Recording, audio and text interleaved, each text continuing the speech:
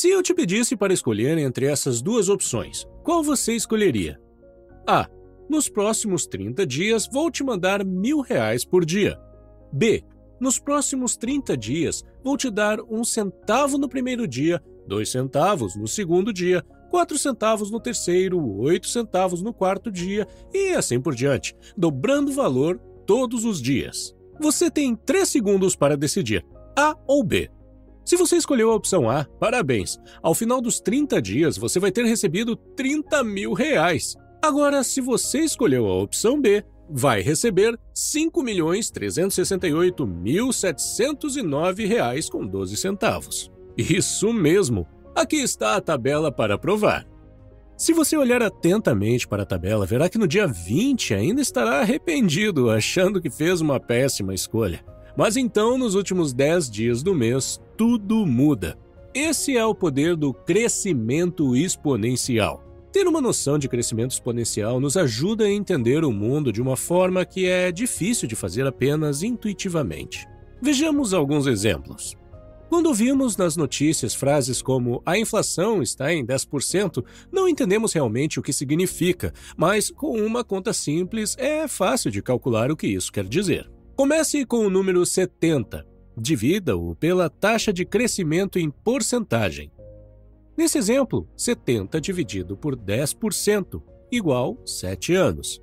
Então, o que as notícias estão dizendo é que levará apenas cerca de 7 anos para que todo o dinheiro que você tem agora passe a valer apenas metade do que vale agora. Se você tem 10 mil reais no banco agora, significa que em 7 anos você terá o poder de compra de 5 mil reais. Aqui está outro exemplo. Se seu chefe lhe prometer um aumento de 7% a cada ano, isso significa que você levará quase 10 anos para dobrar seu salário atual. 70 dividido por 7 igual 10 anos. Então, aqui está a principal lição para você. Quando se trata de crescimento exponencial, não confie em sua intuição. Aceite que você não tem intuição nenhuma quando se trata desse assunto. Nós humanos evoluímos para entender bem o crescimento linear, não o exponencial. O que realmente ajuda é uma calculadora ou a regra dos 70 que acabamos de discutir acima. A regra dos 70 não é 100% precisa, é apenas uma maneira rápida de entender o que significam as taxas de crescimento. Os antigos persas estavam bem cientes de que as pessoas tinham dificuldades para compreender o crescimento exponencial. Aqui está uma história interessante. Era uma vez um sábio cortesão que presenteou o rei com um tabuleiro de xadrez.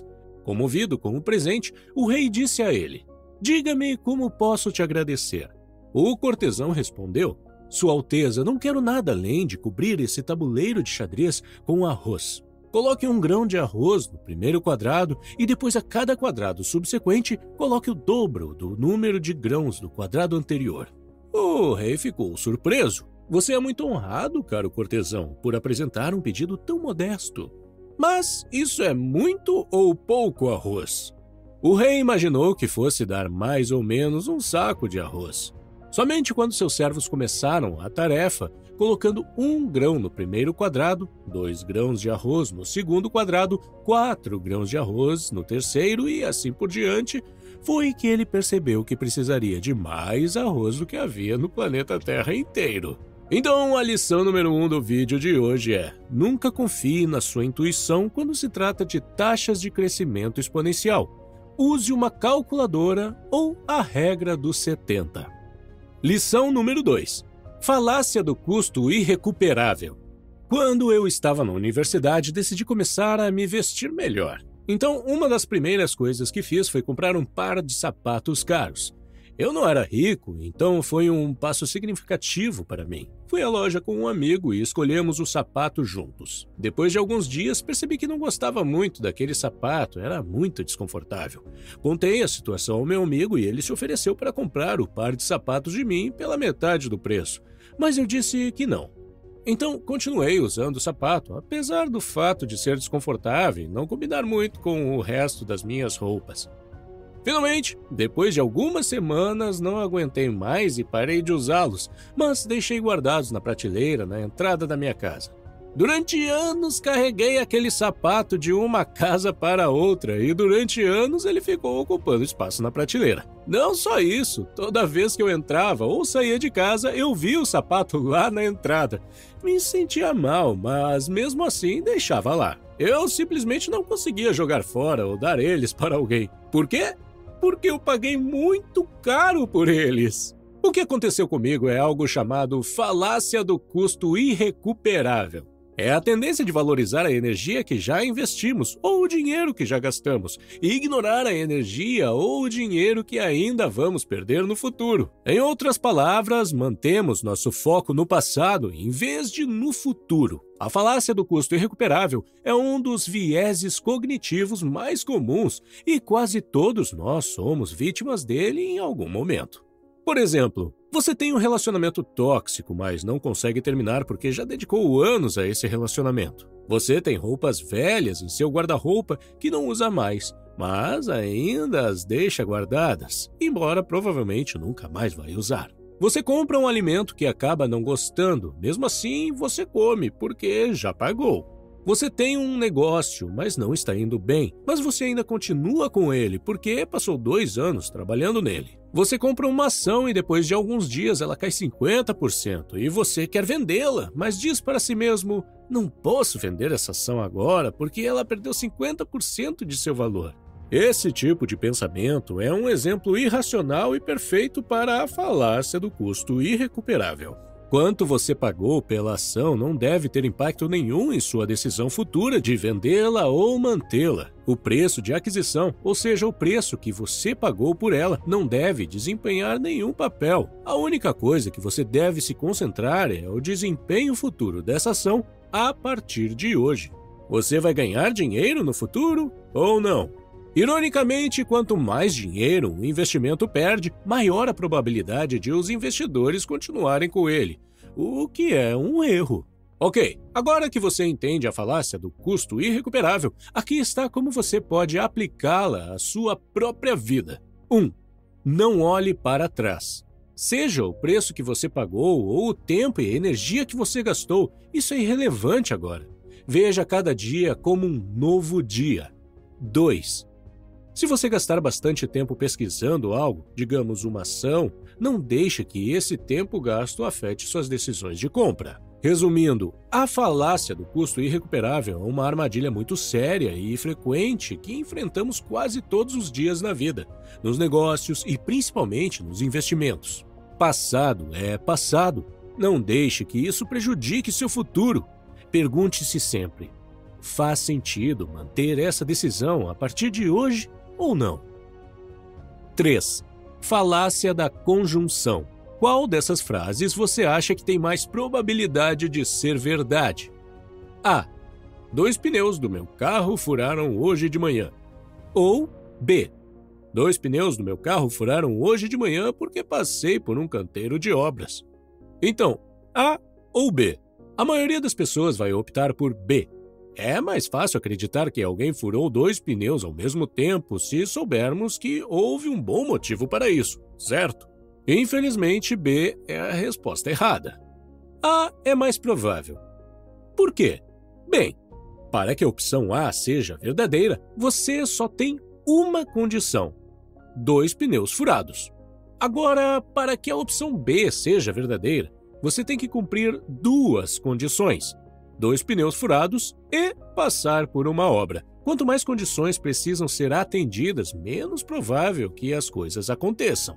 Por exemplo, muitas pessoas viajam todos os anos. Somente uma parte dessas pessoas viaja para a Europa.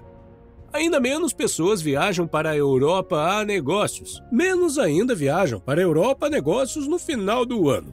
E assim por diante.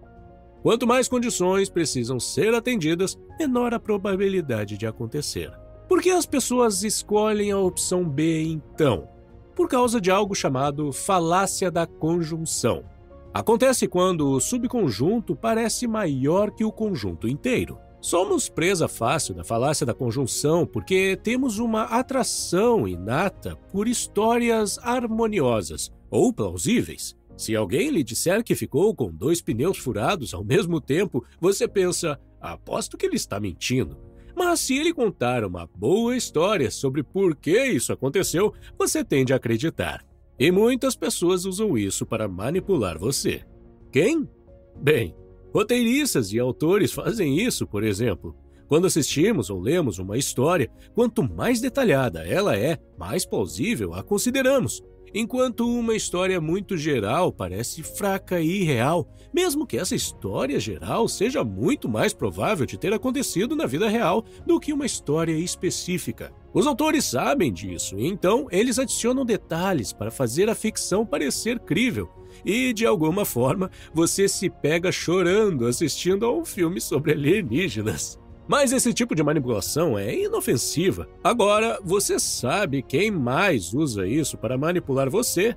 Vendedores, políticos, gurus. Então, o que você pode fazer para evitar ser manipulado? Quando tiver que tomar decisões importantes, lembre-se de que temos uma quedinha por histórias bem contadas. Quando alguém tentar te contar uma história para te convencer de algo, fique atento aos detalhes convenientes e aos finais felizes. Lembre-se, as pessoas usarão qualquer estratégia que puderem para te convencer a fazer o que elas querem. 4. Ilusão de atenção. Na década de 1990, os psicólogos cognitivos de Harvard, Daniel Simons e Christoph Chabris, filmaram duas equipes de estudantes passando bolas de basquete para frente e para trás. No vídeo, um time vestia camisetas pretas e o outro brancas. Os espectadores são convidados a contar quantas vezes as jogadoras de camisetas brancas passam a bola. Ambas as equipes se movem em círculos, entrando e saindo, passando a bola para cá e para lá.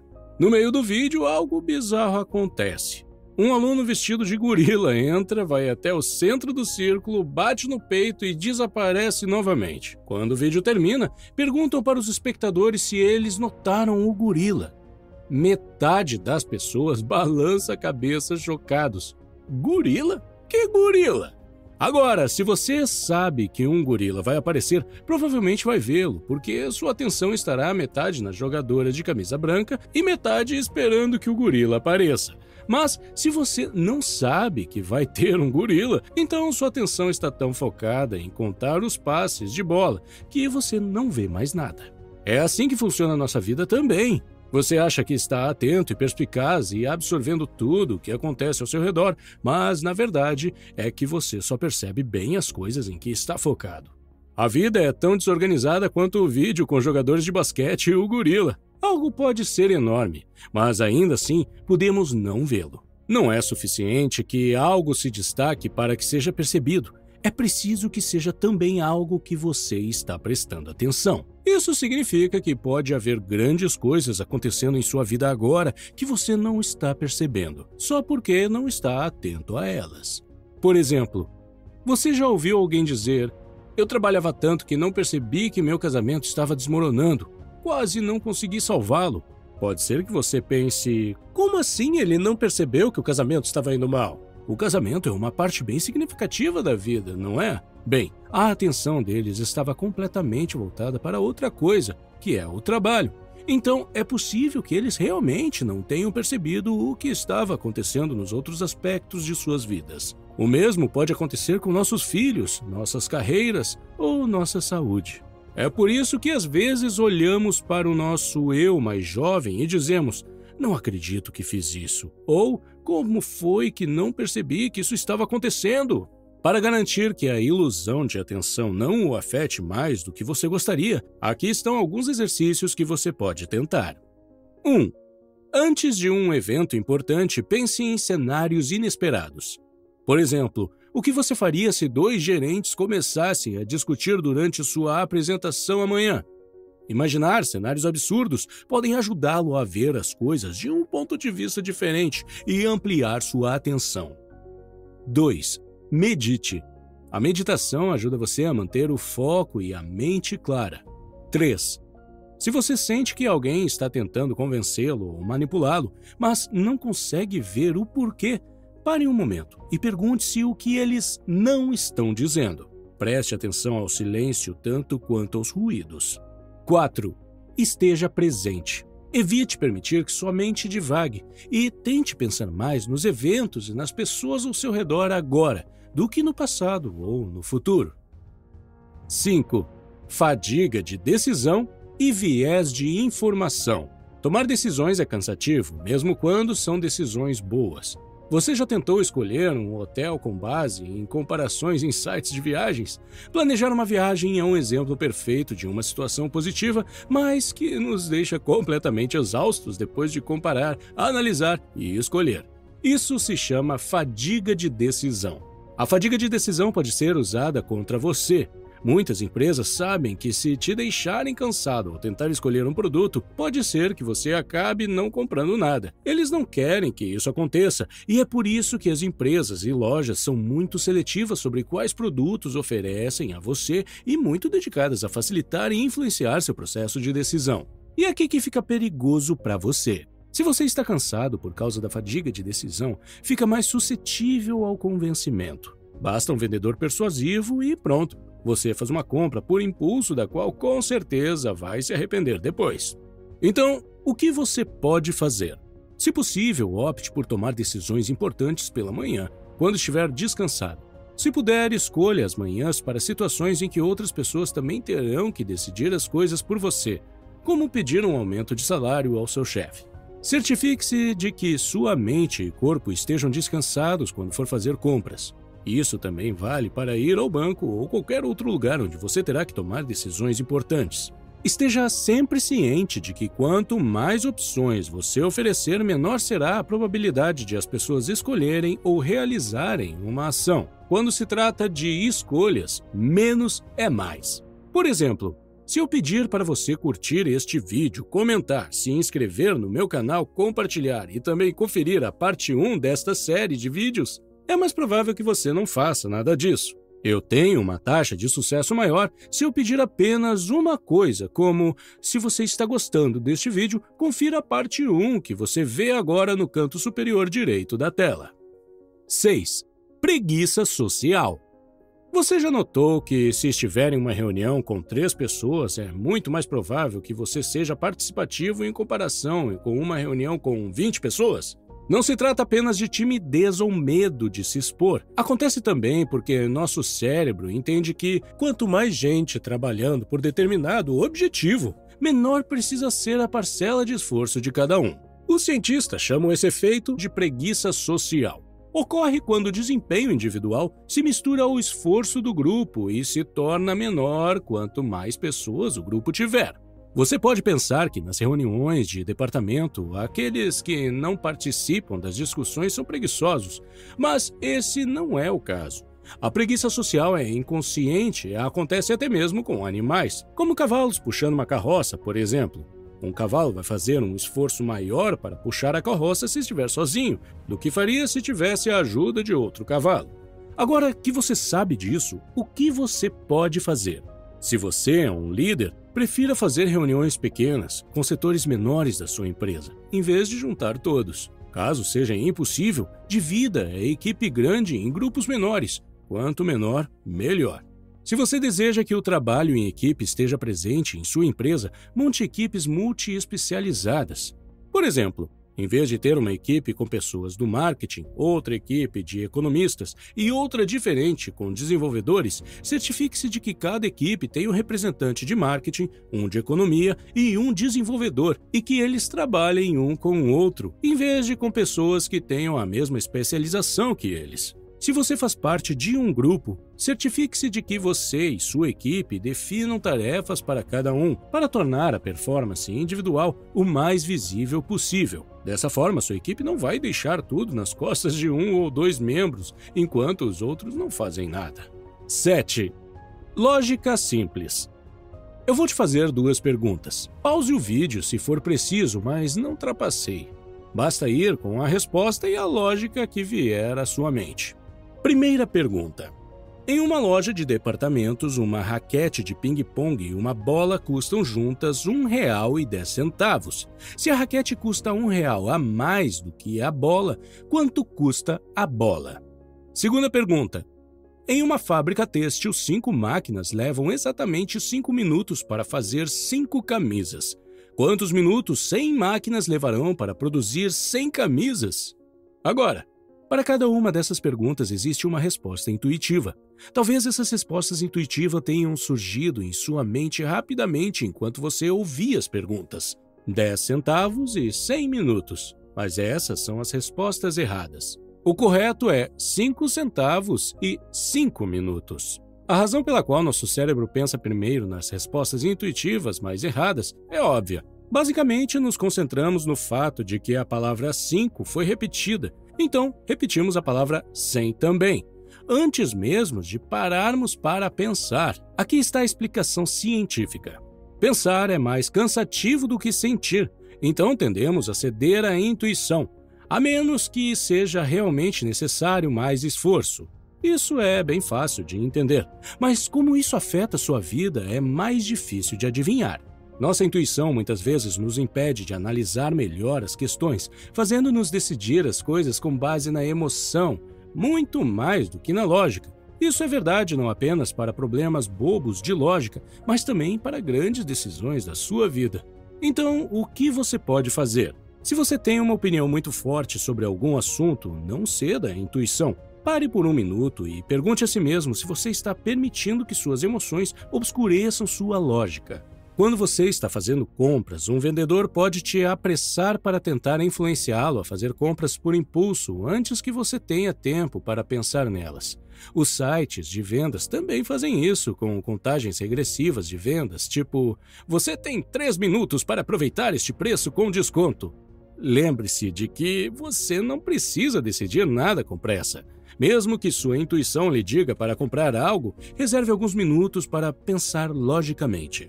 Mas nunca se esqueça: nem tudo pode ser decidido com lógica, e às vezes nem deve ser.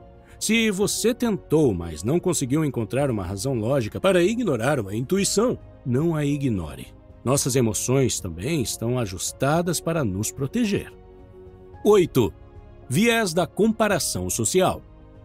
Vamos supor que você trabalhe como secretária. Você está muito ciente de suas habilidades e pontos fracos, por exemplo, você sabe que é extremamente organizada e tem uma oratória ótima, mas ainda está tentando melhorar seu francês e não é muito atenta aos detalhes. Um dia, seu chefe percebe que você está sobrecarregada e, para aliviar sua carga de trabalho, pede sua ajuda para contratar uma pessoa que será sua assistente a partir de agora. O primeiro candidato, Jordan, é um pouco desajeitado e nervoso, mas é muito organizado, assim como você, e admite que entende perfeitamente sua dificuldade com o francês. A segunda candidata, Bárbara, parece muito confiante e está falando francês fluentemente com seu chefe desde que entrou no escritório. Quando seu chefe pergunta de quem você gosta mais, você escolhe Jordan ou Bárbara. Se você é como a maioria das pessoas, escolheu Jordan, o candidato desajeitado e inseguro que não representa uma ameaça ao seu cargo, porque o francês dele é tão ruim quanto o seu. Você pode pensar que essa decisão vem de sentimentos como insegurança, competitividade, inveja, esperteza ou até mesmo medo. Sim, esses podem ser fatores em jogo, mas tudo começa com o viés de comparação social. A tendência de negar ajuda a pessoas que podem superá-lo, mesmo que você acabe sendo prejudicado a longo prazo. Pode ser que você diga, mas eu estou apenas garantindo meu emprego. Bem, diga isso a si mesmo quando sua empresa começar a perder todos os clientes de países de língua francesa, porque vocês não conseguem se comunicar adequadamente com nenhum deles. O viés de comparação social é prejudicial às empresas, à ciência e até mesmo às amizades e relacionamentos amorosos. Guy Kawasaki, um consultor de negócios, diz: Funcionários de nível A contratam pessoas ainda melhores do que eles. Os de nível B contratam nível C para se sentirem superiores a eles, e os de nível C contratam nível D. Em outras palavras, se você começar a contratar funcionários de nível B, vai acabar com funcionários de nível Z. O que você pode fazer então? Contrate pessoas melhores do que você sempre que puder. Ajude as pessoas a prosperar. Quanto mais você ajuda os outros, melhor o mundo ao seu redor se torna. Você também colherá as consequências disso. Fique feliz com o sucesso de outras pessoas seu amigo está ganhando mais dinheiro do que você? Excelente! Seu colega de trabalho foi promovido? Incrível! A melhor coisa a fazer é aprender com eles para que você também tenha mais sucesso. E foi esse o último. Não se esqueça de conferir a parte 1 desta série de vídeos e obrigado por assistir até o final. Tenha um bom dia!